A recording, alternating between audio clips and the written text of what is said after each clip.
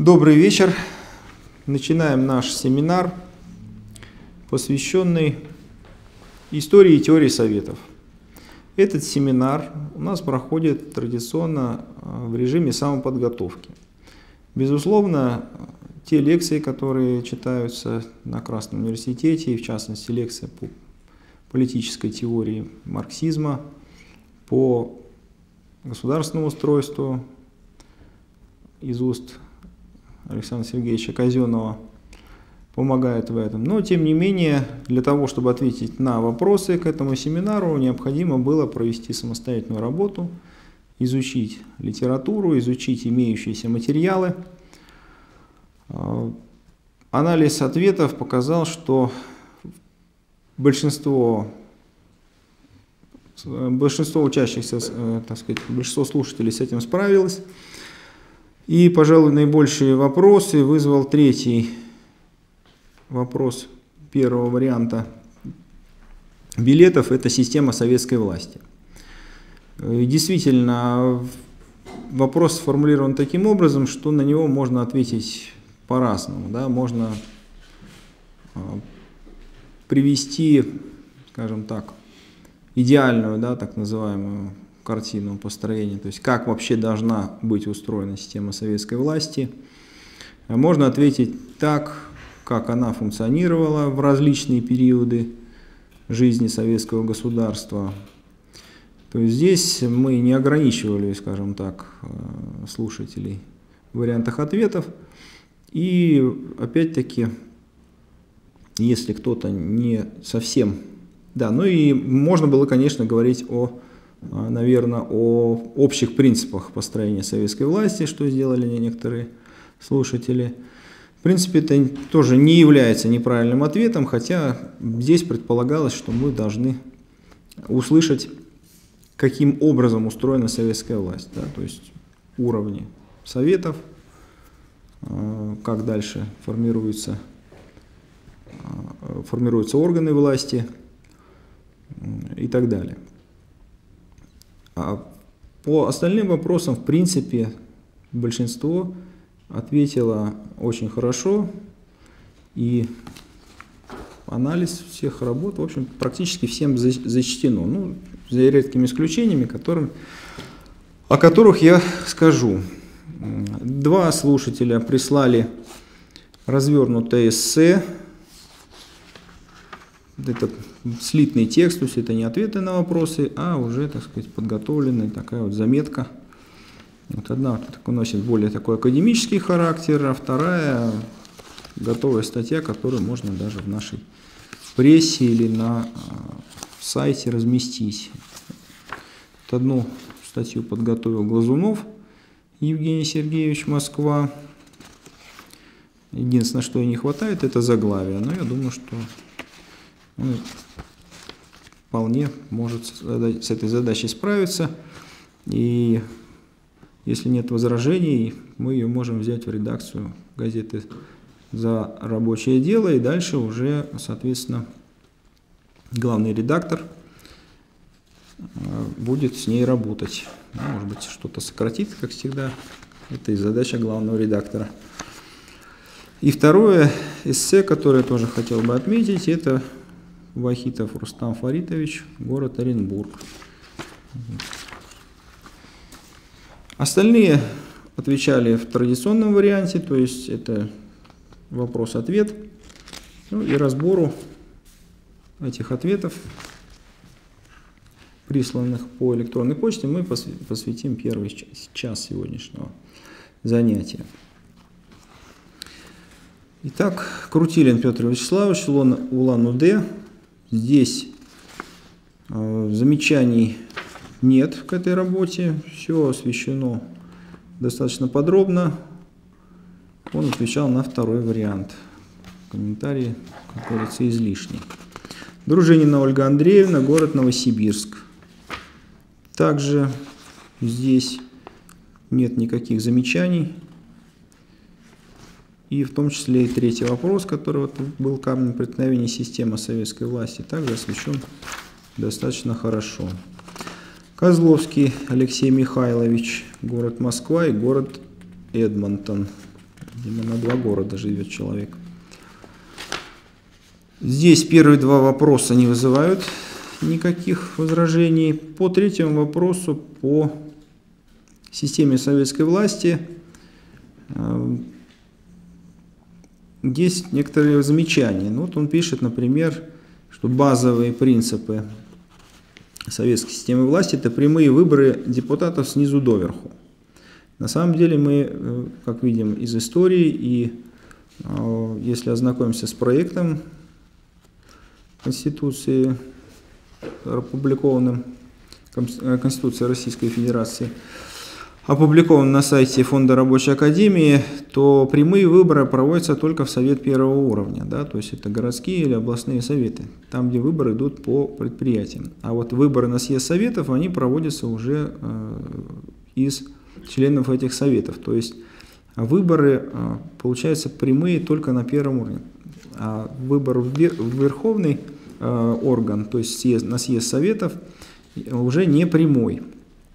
Уже не прямой. А вот отзыв действительно э, депутатов, он прямой. То есть самого, так сказать, с, тот коллектив, который выбрал депутата, он может отозвать его, в том числе из съезда советов, из Центрального исполнительного комитета, из любого э, выборного органа. Бессрочность действия депутатов.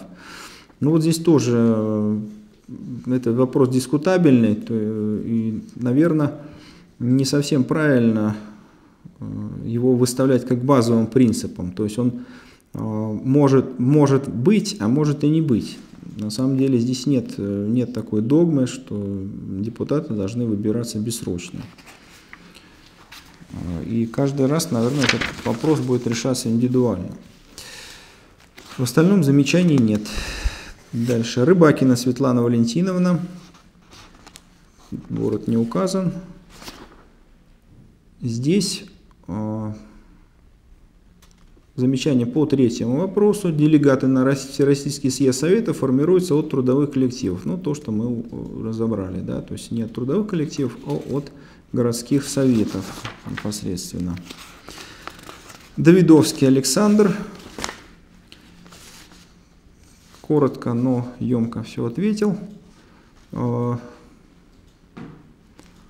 Ну и подчеркнул, так сказать, что Советы рабочих депутатов, постепенно трансформируясь в Советы трудящихся, а потом в Советы народных депутатов, постепенно утрачивали, утрачивали именно свой рабочий характер.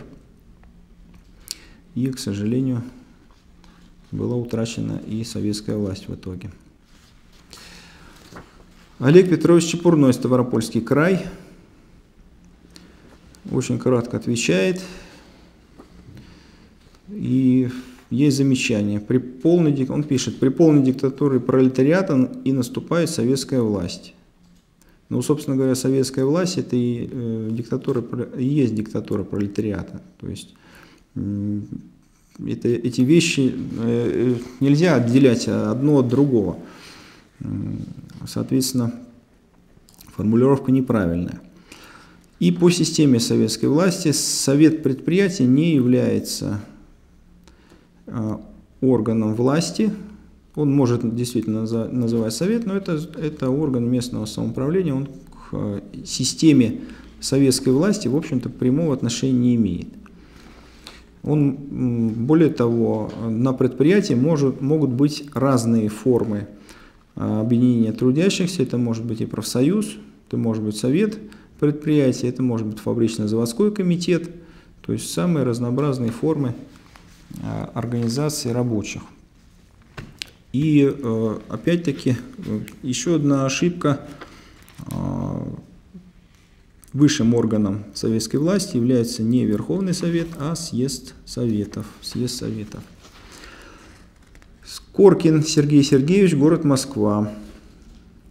Начинает он с третьего вопроса. Ну, в остальном кроме нарушения порядка ответа на вопросы, в общем-то, никаких замечаний нет. Марат Беляев, город Москва.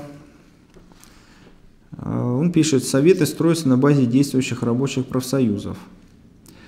А, ну, советы строятся все-таки не на базе действующих рабочих профсоюзов. Рабочие профсоюзы участвуют в создании профсоюзов каким образом? А, если говорить о периоде до победы социалистической революции, то профсоюзы а, образуют фабрично-заводские комитеты, либо они образуют забастовочные комитеты при проведении коллективных действий. Вот именно вот этих забастовочных комитетов уже выбираются делегаты а, в Советы. Если мы посмотрим так сказать, в историческом аспекте, то профсоюзы в том же 1917 году создавались одними из последних. То есть все-таки организации типа э, фабрично-заводских комитетов или э, даже советы, в принципе, начинали формироваться раньше, чем, чем профсоюзы и объединения профсоюзов. Э, поэтому и исторически, и теоретически профсоюзы, они не являются такой вот прочной опорой советов, но тем не менее могут действительно участвовать в формировании. Самое главное это то, что профсоюзы являются школой коммунизма. То есть они учат а, рабочих отстаивать не свои личные интересы, а интересы трудового коллектива, объединяться для достижения а, своих целей, то есть достижения э, экономических интересов, соответственно, сплачивают коллектив, ну и вот, в общем, готовят его к более активным решительным действиям уже в сфере политики. И по третьему вопросу, э, по третьему вопросу здесь тоже есть ну, недостаточно раскрыто, скажем так. Овечников Константин Константинович, город Москва. По первому, второму вопросу, и по третьему здесь э, никаких замечаний нет. И он прислал вопрос – Раз выборы в Совет идут по трудовым коллективам с фабрик и заводов, значит имеет место ограничение избирательного права. Это необходимо до полного уничтожения классов, полного коммунизма. Значит, Конституция 1936 года была преждевременной, с введением прямого голосования всем населением в городские, областные, республиканские советы. Ну, мы знаем, что исторически действительно имелось ограничение избирательного права. Представители прежних эксплуататорских классов и те, кто служил им э, непосредственно, они не имели права избираться и избирать. Соответственно, э, действительно имело место ограничение. В последующем это ограничение было отменено, и возможность голосовать, она была распространена на всех членов общества.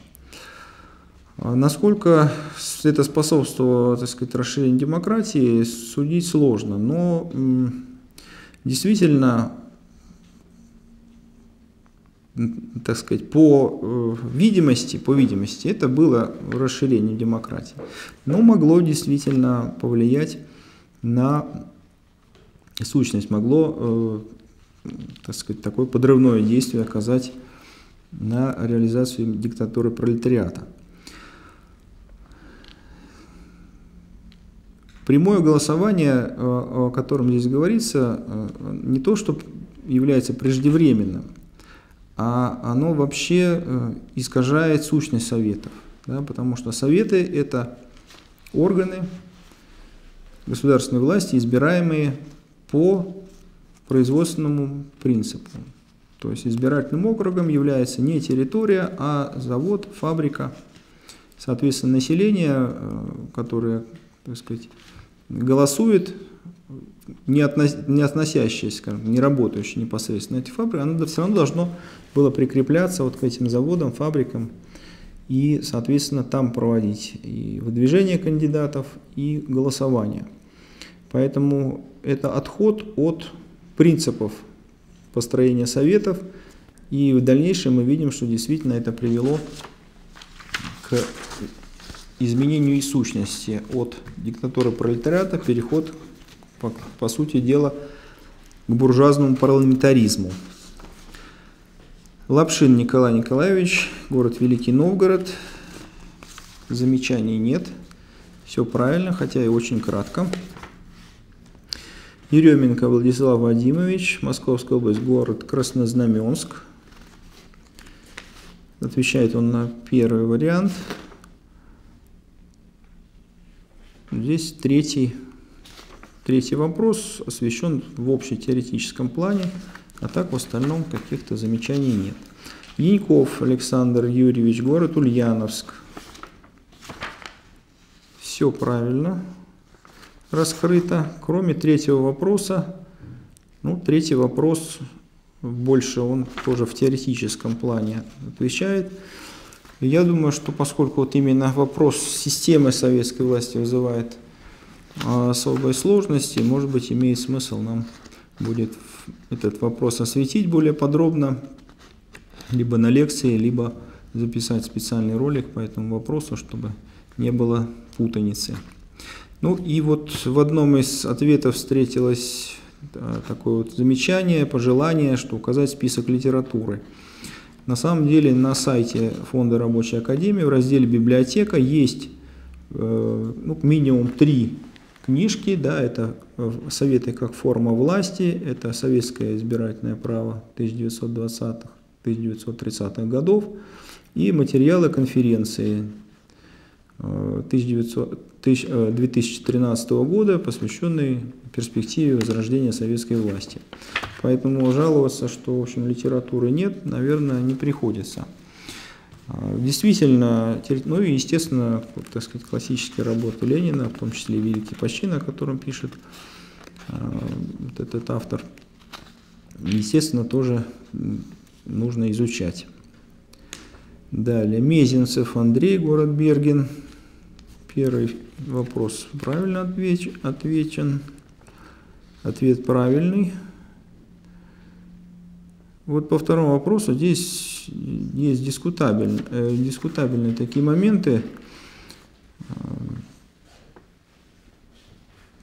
Ну, в частности, он пишет, что мало у нас рабочих. Да?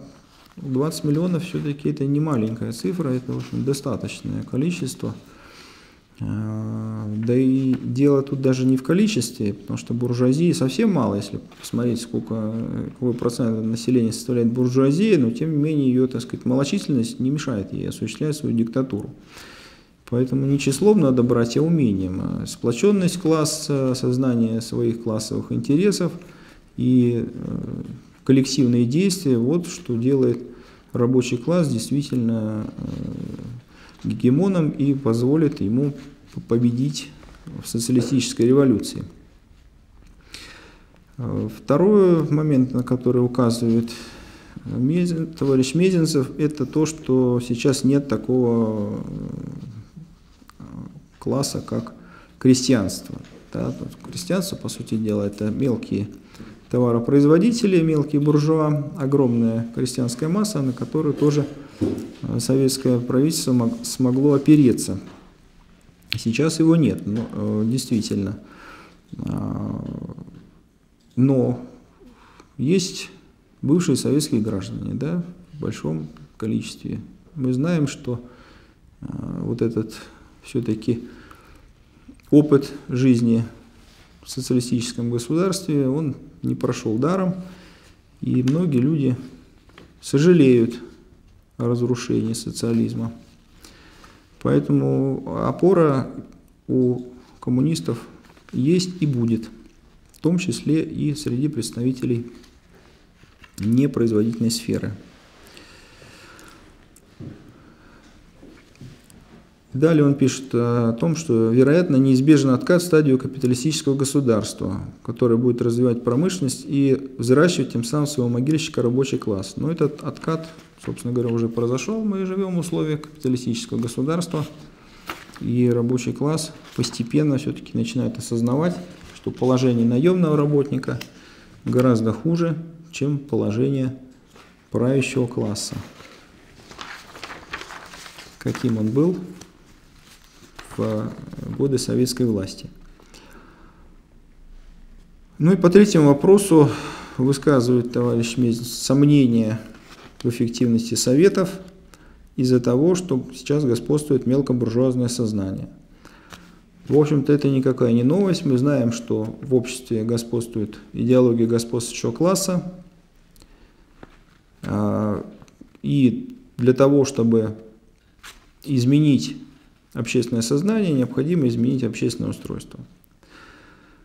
Поэтому изменение, общественного, изменение сознания так сказать, должно произойти прежде всего в авангарде класса, то есть должна сформироваться партия рабочего класса, которая должна повести за собой рабочий класс. Ждать формирования э, коммунистического сознания у большинства, это все равно, что надеяться на победу коммунистов в буржуазном парламенте и установление советской власти сказать, путем голосования.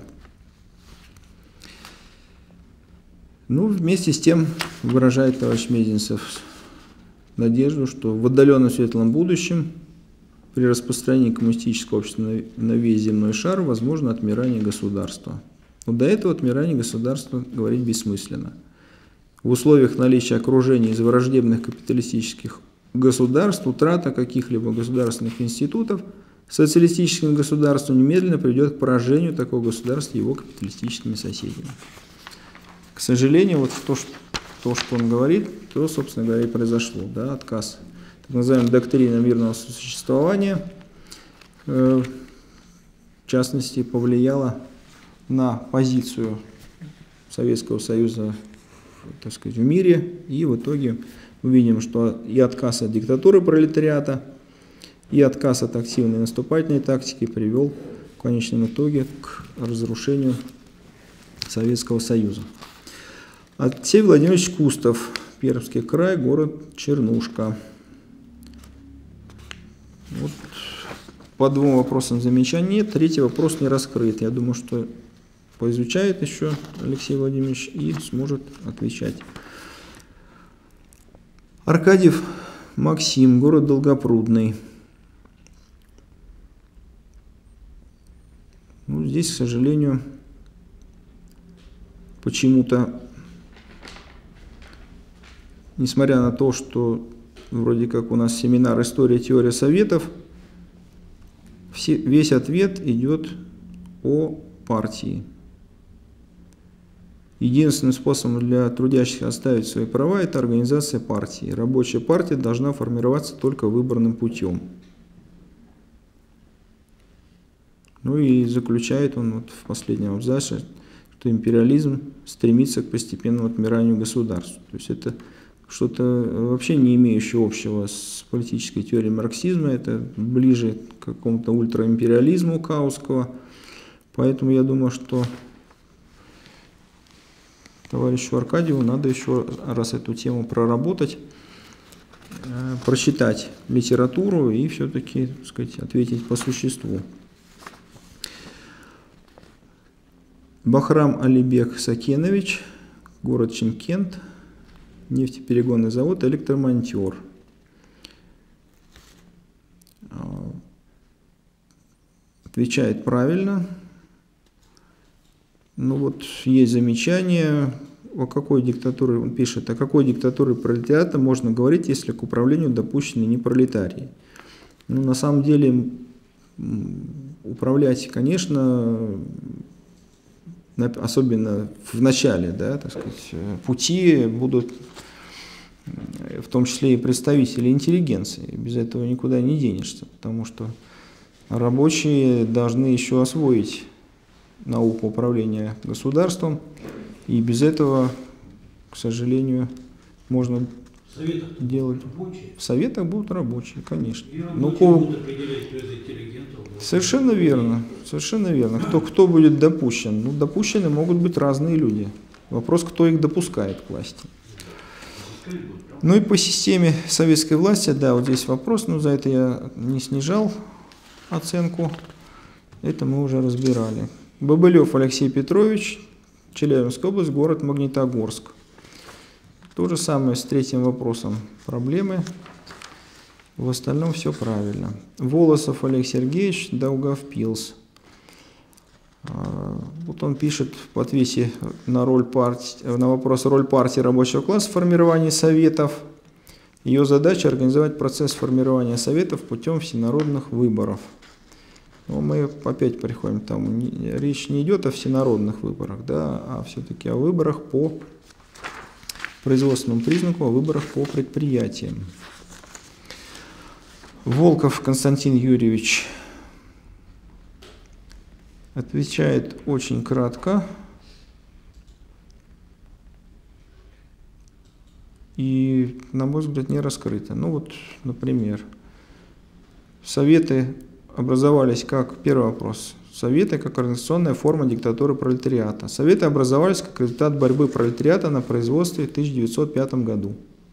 Созданные рабочими советы стали органом общественного самоуправления. С первым предложением согласен, а второй – это не орган общественного самоуправления, это орган власти, это орган диктатуры пролетариата. То есть вопрос здесь нуждается в раскрытии дальнейшем. Главное отличие Советов от буржуазного парламента в том, что Советы избираются представители от рабочих коллективов и имели классовые ограничения. Есть еще ряд отличий. Отзыв депутатов, система наказов и отчетности. Но здесь хотелось бы иметь более подробный отчет. Все-таки главное отличие Советов от буржуазного парламента в том, что Советы осуществляют диктатуру пролетариата, а буржуазный парламент – диктатуру буржуазии. Ну, за третий вопрос я уже сказал, что оценку не снижаю. Арпентини. Имя, отчество называть не могу, есть инициалы только. И нет указания от- откуда товарищ. Здесь вообще очень интересно по первому вопросу. Власть класса рабочих начинает с создания советов на своих рабочих местах, а уже затем, опираясь на власть советов, идет к завоеванию власти рабочих в буржуазном парламенте с целью дальнейшего захвата власти государства и установления в нем диктатуры рабочего класса со всеми вытекающими отсюда последствиями. Ну, Советы на своих рабочих местах можно создавать, да, это, и мы знаем, что в Германии есть советы производства, где рабочие встречаются, совещаются, определяют, что, так сказать, как улучшить производство. Но никакого осуществления государственной власти и, э, так сказать, про- даже в зародыше советами, так как мы их понимаем, органы диктатуры пролетариата, они, эти производственные советы не являются. Ну и, конечно, завоевание власти рабочих через буржуазный парламент – это парламентский кретинизм, то, что, как называл его Владимир Ильич Ленин. Ответ – отличие советов от буржуазного парламента. Класса рабочих через советы осуществляет власть диктатуры рабочего класса над классом буржуазии. Рабочий класс осуществляет диктатуру над всеми другими классами, да, не только классом буржуазии. А все другие классы какие? Мелкая буржуазия, например. А потом класс буржу, когда класс, ну в том числе и над, и над самим собой, то есть над, над рабочим классом. Виду, Да, потому что после того, как установился, э, скажем так, установился социалистический уклад в экономике и не осталось капиталистических предприятий, кого, над кем осуществляет власть э, рабочий класс? Непонятно, да? Ну, правильно написано, что в советах власть принадлежит правящему классу, то есть классу рабочих.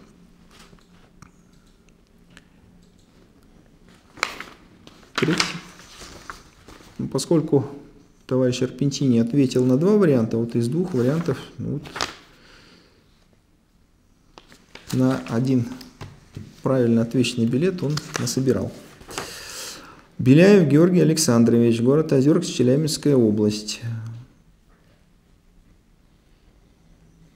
Здесь только третий, по сути дела, вопрос, да и то раскрыт не полностью. Очень кратко. Хотелось бы увидеть более полный ответ для того, чтобы этот ответ можно было зачесть. Мирги Ястинов, Шухрат Джамалдинович, Алма-Ата, Казахстан. Здесь все правильно, никаких замечаний нет. Сорокин, ЕП. Товарищ Сорокин прислал 5 строчек. Очень коротко. Не зачтено. Токарев Евгений, город Хабаровск, Хабаровский край. Есть замечание только по третьему вопросу системы советской власти. Зачтено. Гудков Егор, город Тверь. Предпосылки возрождения Советов здесь не все предпосылки раскрыты, но те, которые указаны, они указаны верно. Роль партии также указана верно, но полностью не раскрыта. Вопрос он задает. На одной из прошлых лекций кто-то из преподавателей укорял слушателя за то, что писал термины с большой буквы, а здесь в вопросах лекции в системе СДО слово «советы» везде с большой буквы. Это правильно? Это историческое сложившееся название э, определенного типа органов государственной власти, поэтому э, правильно писать советы в том смысле, о котором мы сегодня говорим, правильно писать с большой буквы.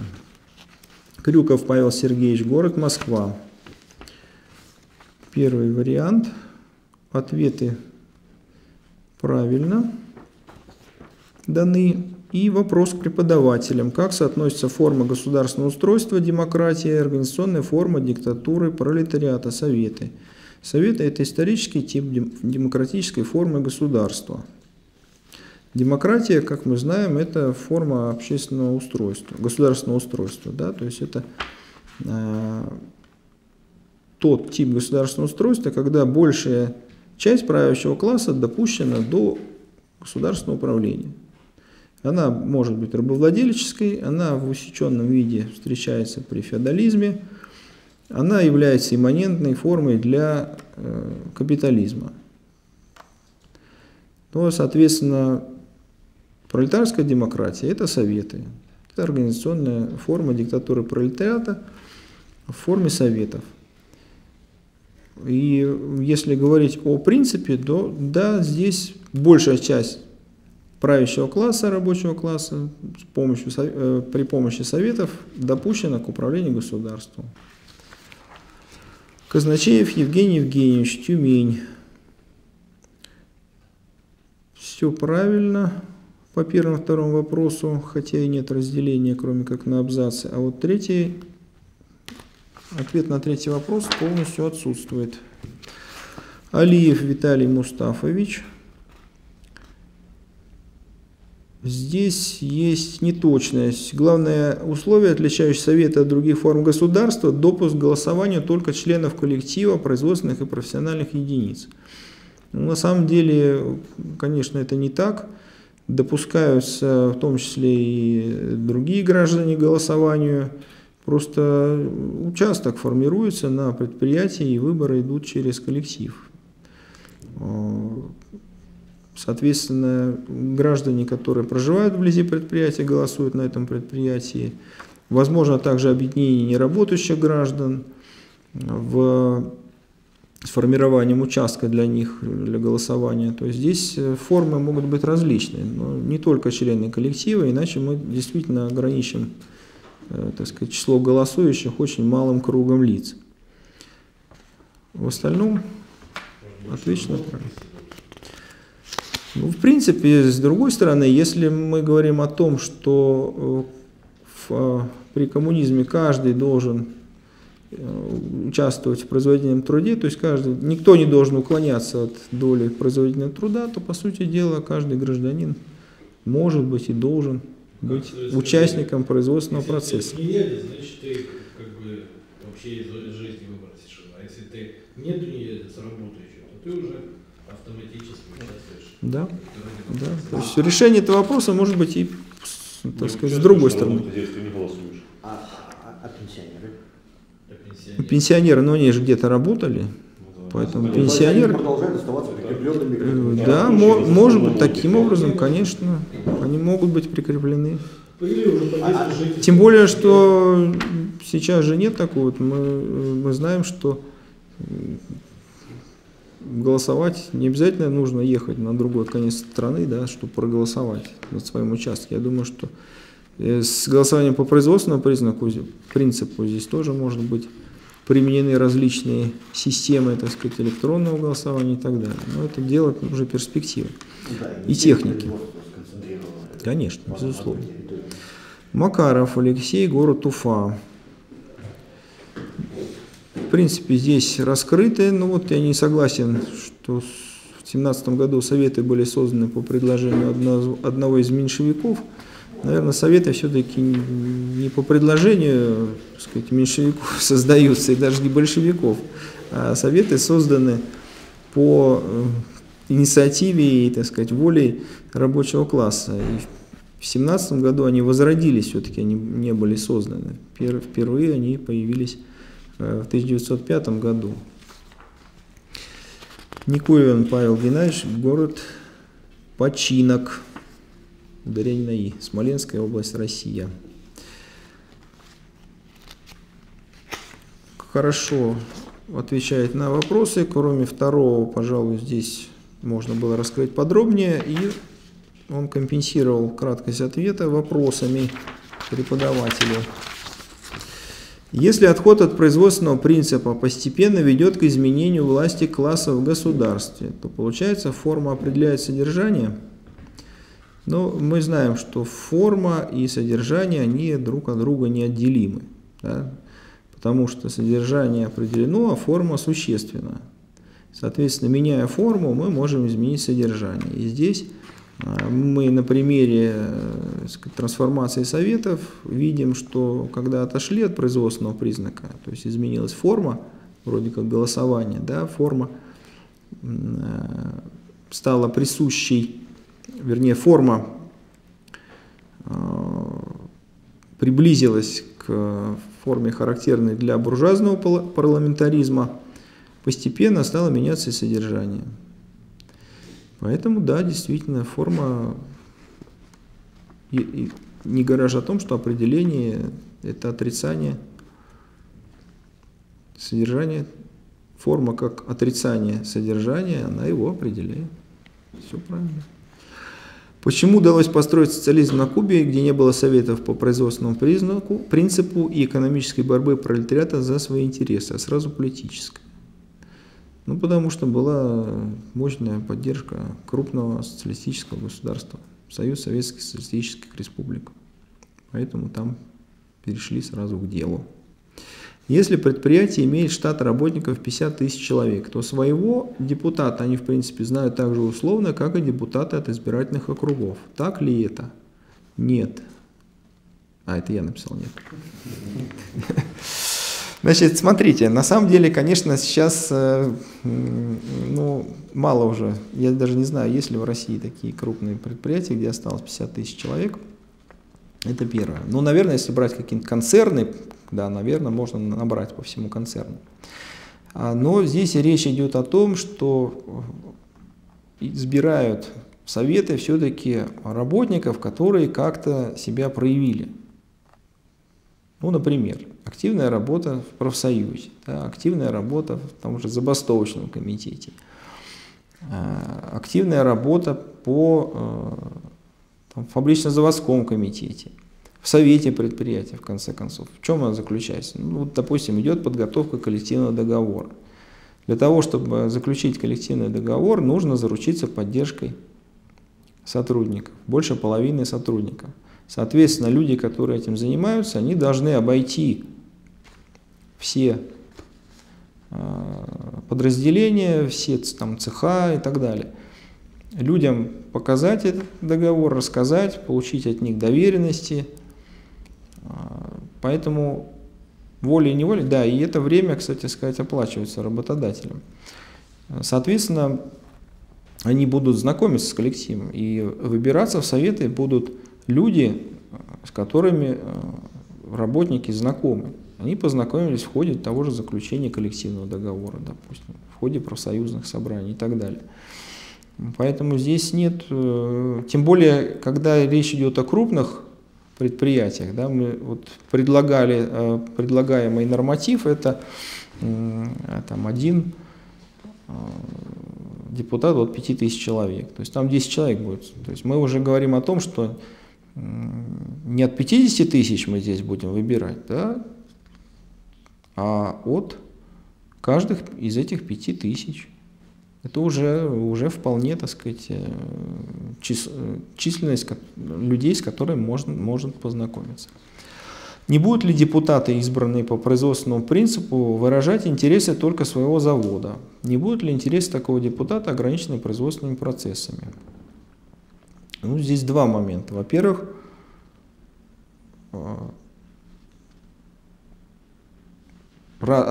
депутаты будут избраны от разных предприятий. Да, когда они встретятся между собой и будут взаимодействовать, естественно, что отстаивать интересы исключительно своего предприятия просто не получится.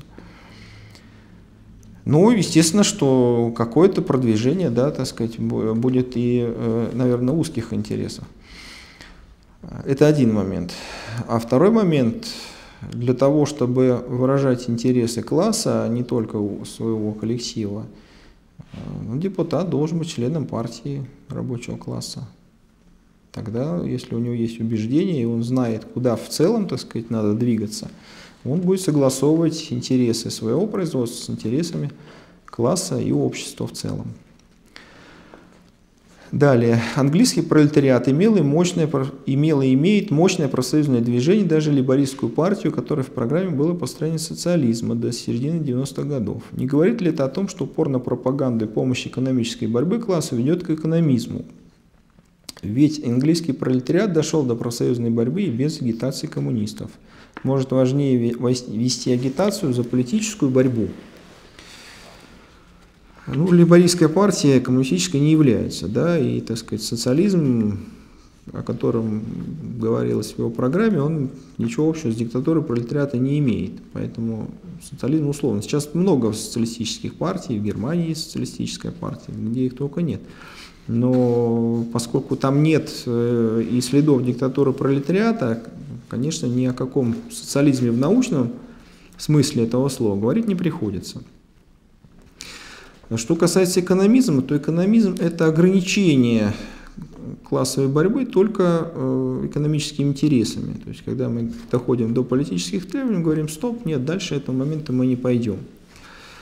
Упор на пропаганду и помощь экономической борьбы а, делается потому, что без вот этого, перескочить через этот этап не получается. Даже если мы посмотрим, так сказать, опять-таки бросим взгляд на историю, вот союз борьбы за э, освобождение рабочего класса. Когда у него дела пошли лучше, так сказать, ну и когда наконец им стало интересоваться правительство, собственно говоря, и прикрыло всю его деятельность, тогда, когда стали подниматься экономические вопросы. Была проведена огромная работа по э, сбору информации о состоянии дела на предприятиях, о том, какую заработную плату получают, какие условия труда, какие условия проживания и так далее. То есть, э, Владимиром Лениным был составлен опросник, который распространялся на предприятиях, и эта информация собиралась. Кому интересно, может ознакомиться с этим материалом на сайте zabast.com. А, соответственно, э, нужно говорить о том, что, с чем люди сталкиваются непосредственно, потому что политическая борьба для них что-то такое абстрактное в основном, да, то, что касается выборов там, и так далее. То есть первое, когда приходишь проходной из газеты, говорит, за кого вы агитируете? За кого? То есть вся вот эта политическая деятельность, э, так сказать, в массовом сознании, она связана исключительно с выборами тех или иных Э, так сказать, субъектов, людей в органы законодательной или исполнительной власти. И, соответственно, а вот то, что касается непосредственной жизни, это заработная плата, это условия труда, это рабочее время, вот эти моменты, которые касаются каждого, и мимо них не пройти. Первый момент. Второй момент, э, то, что борьба всегда начинается за экономические требования то, что, то, что близко, так сказать, ну а потом, да, переходит она в борьбу за политические линии, зависит от наличия политической партии. Если есть партия рабочего класса, если она активно работает, если у нее есть свои представители, члены э, рабочей э, партии, партии рабочего класса на предприятиях, они входят в состав тех же профсоюзов, соответственно, участвуют в формировании забастовочных комитетов, тогда, да, действительно, борьба экономическая может перейти в борьбу политическую. Почему она не переходит в Англии? Ну, на этот вопрос Владимир Ильич Ленин ответил в своей работе «Империализм как высшая стадия капитализма». Потому что буржуазия империалистических стран, используя вывезенное, так сказать, награбленное в других странах, вот эту вот избы, часть вот этого избыточной прибавочной стоимости, она использует на то, чтобы подкупать рабочих вожаков, ну и вообще, так сказать, э, подпитывать всяческий оппортунизм в рабочем движении. То есть э, это делается сознательно, это, так сказать, э, вещь распространенная, и Ленин пишет о так называемых буржуазных приказчиках в рабочем движении, которые усердно, так сказать, проводят волю буржуазии, не давая перейти через Э, рубеж экономической борьбы. А, безусловно, политическую никто не сбрасывает. И когда мы говорим о советской власти, мы за что агитируем? Это же не экономические требования, правильно? Власова Анна Юрьевна, город Тверь.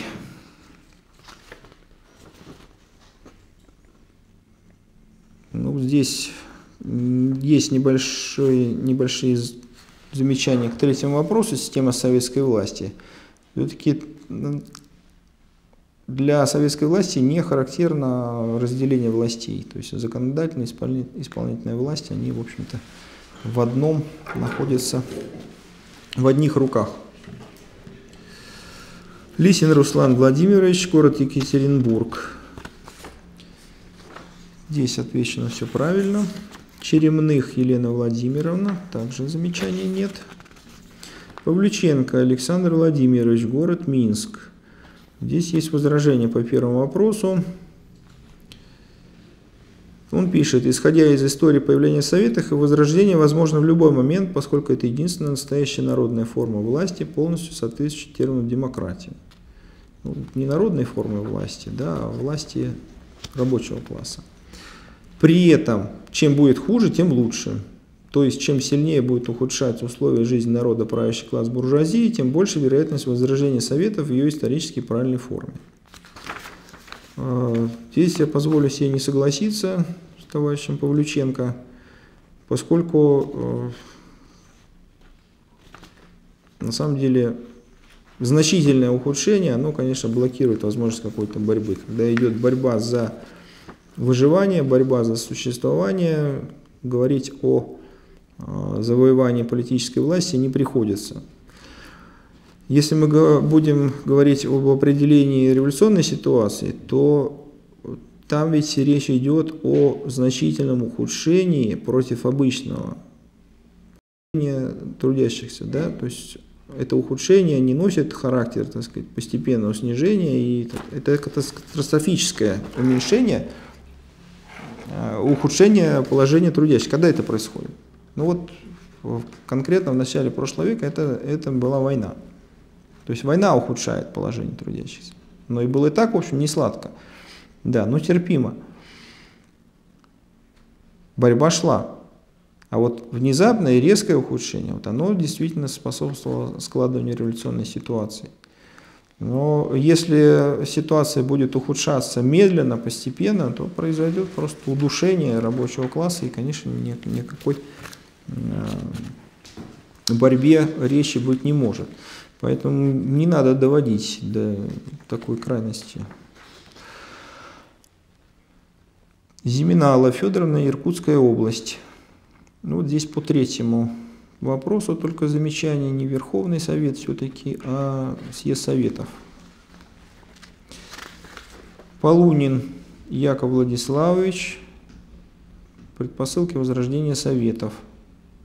По первому вопросу э, есть замечание, но в принципе Да, и то же самое, он пишет, что постепенное ухудшение уровня жизни рабочих. Нельзя назвать это предпосылкой э, возрождения советов.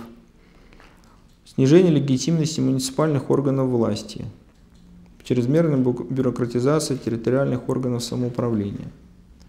В общем, к советам, к возражению советов никакого отношения эти два пункта не имеют. Партия, роль партии рабочего класса. Партия рабочего класса необходима для завоевания власти у буржуазных классов, передачи ее советам. Не партия завоевывает власть, завоевывает все-таки класс. И, собственно говоря, советы являются органом осуществления диктатуры рабочего класса. Поэтому здесь вот немножко соотношение нарушено. Но то, что она необходима, действительно, да, без своей партии рабочий класс не может завоевать государственную власть. Демократия есть власть большинства, большинства класса. Советы есть максимально непосредственные политические инструменты небуржуазных классов. Советы есть орган власти, это не инструмент, это, собственно говоря, орган власти, это организационная форма диктатуры пролетариата, это не инструмент. Титюхин Юрий Анатольевич. Есть интересные у него моменты в ответе. Вот он пишет, не рабочее движение слабо, а действие его противников более успешно. Отсутствие готовности у современных рабочих организоваться для отстаивания своих интересов обусловлено их пассивностью, отсутствием прежде всего предложения широкого набора инструментов борьбы в текущих условиях, методика их внедрения в рабочие коллективы и прежде всего, что притягивает передовую теорию к земле, искусству тактики. Пример информации о локальных успехах и анализе поражений должна распространяться со скоростью молнии боевого листка – алгоритмы и примеры должны быть все время под рукой, тогда только можно ждать рост активности рабочих, готовых рискнуть, вооружившись методикой преодоления препятствий, изучив слабые места в обороне противника. На самом деле инструменты есть, конечно, и мы все время говорим об этом. И дважды в год проходит в Нижнем Новгороде заседание Российского комитета рабочих, где вопросы борьбы э, сказать, за экономические интересы за э, улучшение условий труда, за заработную плату, за сокращение рабочего дня поднимаются и обсуждаются. И инструмент есть, и основной инструмент, мы знаем это и пропагандируем, это борьба за заключение и осуществление прогрессивного коллективного договора. Есть этот инструмент, это то, что может действительно сплотить рабочих, то, что может привести к улучшению их жизни на предприятии и дать опыт проведения коллективных действий. А самое главное, что при заключении коллективного договора, при проведении коллективных действий формируется забастовочный комитет. Если нет забастовочных комитетов, не есть чего, так сказать, не от кого выбирать советы. Понимаете? Поэтому инструменты есть, есть информация, есть примеры. А, ну, русский народ долго запрягает, но быстро ездит. Поэтому я думаю, что рано или поздно, вот, так сказать, люди возьмут на вооружение вот этот мощный инструмент. Это коллективные договоры, коллективные действия, которые его подкрепляют. И это начало, так сказать, борьбы. А что касается информации, ну да, действительно я согласен, что нужно ее распространять, но не всегда нужно, скажем так, на определенных этапах, да, потому что э, не надо забывать, что есть и противодействие. Далее он пишет, основной задачей рабочей партии является развитие отечественного производства. Но это не означает, что борьба должна ограничиваться проходной производством, а интересы рабочего человека только заработной платы. Недопустимо партии исключать из сферы своего внимания до прихода диктатуры пролетариата все другие стороны жизнедеятельности рабочего. Ну, партия рабочего класса и не исключает. Да, если мы возьмем любую программу коммунистической партии, и в том числе программу рабочей партии России, то там все сферы жизни освещены, не только, и в том числе и до, до прихода диктатуры пролетариата. Ну а что касается развития отечественного производства, то мы его поддерживаем, Но говорить о том, что это задача партии, все-таки задача партии является соединение научного социализма с рабочим движением, внесение а, э, научного социализма в рабочее движение, помощь в организации рабочего движения, в прояснении его целей, э, так сказать, в руководстве его. Но развивать отечественное производство должны те, в руках которого находятся средства производства. Когда будет средства, будут средства производства в руках рабочего класса, тогда задачей рабочего класса будет развивать средства производства. А сейчас, да, так сказать, рабочий класс, борясь за свои интересы, способствует сохранению и развитию отечественного производства. А развивать его должны те, кто, извините, взял его в свои руки. Партия в той форме, которая могла быть застрельщиком сформирования Советов широким массам рабочего, российского рабочего класса неизвестна. Очень хочу признать, что ошибаюсь. Но вот мы всегда говорили, говорим, что партия рабочего класса находится в, на этапе становления. Да? То есть есть возникновение, есть элементы прихождения, с которыми партия борется – а для того, чтобы действительно стать партией рабочего класса, за ней должен пойти ну, значимая часть класса. Пока действительно не идет. Но тем не менее, прогресс на этом пути есть. Озерецковский перерыв. Да? Вот один, один человек, Озерецковский, ответил на, на второй вариант вопросов. Замечаний по его ответу нет. Перерыв.